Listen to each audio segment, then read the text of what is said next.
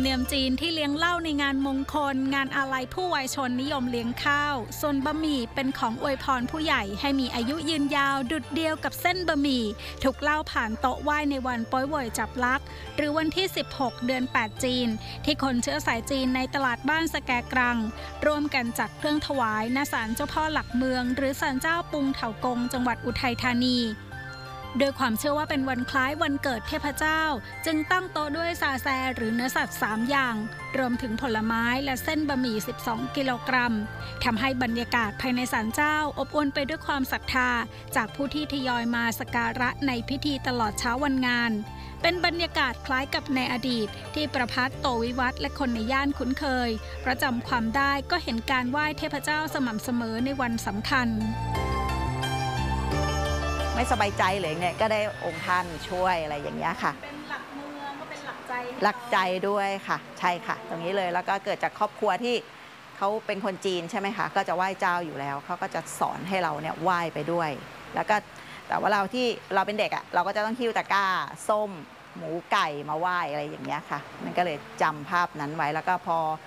อาเราอายุมากขึ้นใช่ไหมคะมีกิจกรรมอะไรเราก็เลยขอมามีส่วนร่วมด้วยอะไรอย่างเงี้ยค่ะ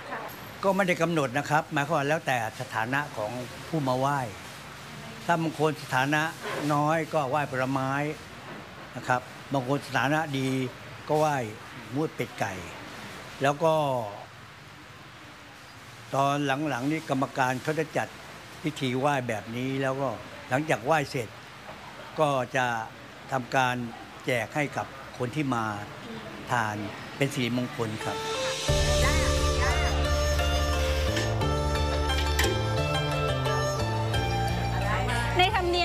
งจากที่ลาของไหว้มาแล้วค่ะ ก็จะมาช่วยกันนะคะทำอาหารค่ะก็ตั้งโต๊ะตั้งเตากันที่หน้าศาลเจ้าพ่อหลักเมือง หรือว่าศาลเจ้าปุนเถากงไปเลยนะคะ ซึ่งตรงนี้นะคะก็อยู่ไม่ไกลจากแม่น้ำสแกกรังค่ะ ก็มีคำเรียกในอดีตด้วยนะคะ ว่าเรียกว่าท่าช้างเพราะว่าเป็นที่อยู่ของช้างลากซุงในกิจการป่าไม้ของเมืองอุทัยธานีนี่แหละค่ะ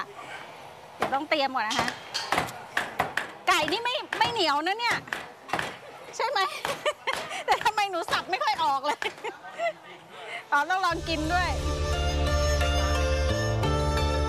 เล่ากันว่าสารเดิมสร้างจากไม้เป็นแบบไทยมาก่อน สันนิษฐานว่ามีอายุนับร้อยปี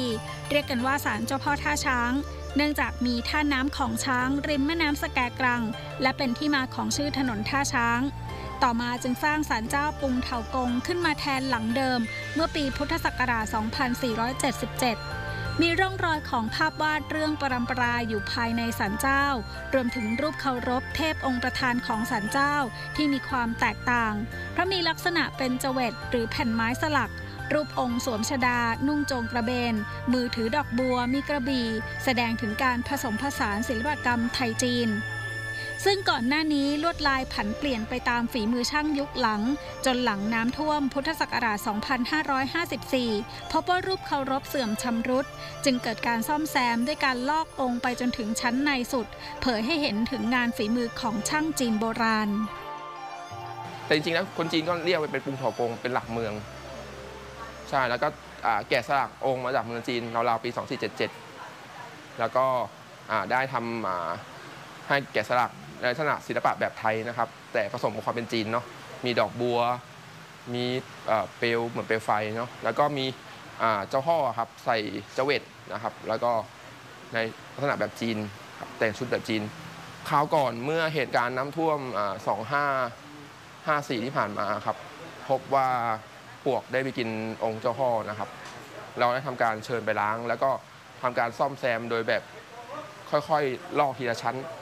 จนเห็นชั้นสุดท้ายที่เป็นลวดลายในปัจจุบันนี้คือลวดลายดั้งเดิมในอดีตเลยนะครับ ไม่ได้เป็นลวดลายใหม่ที่เขียนคือเราเขียนตามลวดลายที่ยังคงเหลือในอดีต แล้วก็ปั้นลายขึ้นมาตามตามรูปแบบของลายลายนั้นครับแล้วเลยก็ได้งานลักษณะเหมือนกับดั้งเดิม ย้อนยุคไปร้อยกว่าปี เหมือนแต่อดีตบรรพบุรุษที่เคยทำมา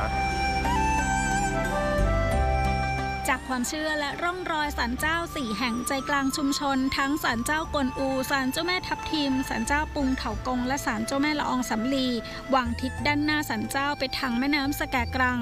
มีที่มาจากความเป็นชุมชนลุ่มแม่น้ำตั้งถิ่นฐานมานาน สะท้อนภาพอดีตที่มีเรือนแพของพ่อค้าชาวจีน ก่อนจะขยายครอบครัวอยู่สองฝากฝั่งแม่น้ำจนปัจจุบันเป็นชุมชนไทยเชื้อสายจีนที่มั่นคงต่อธรรมเนียมประเพณีความเชื่อ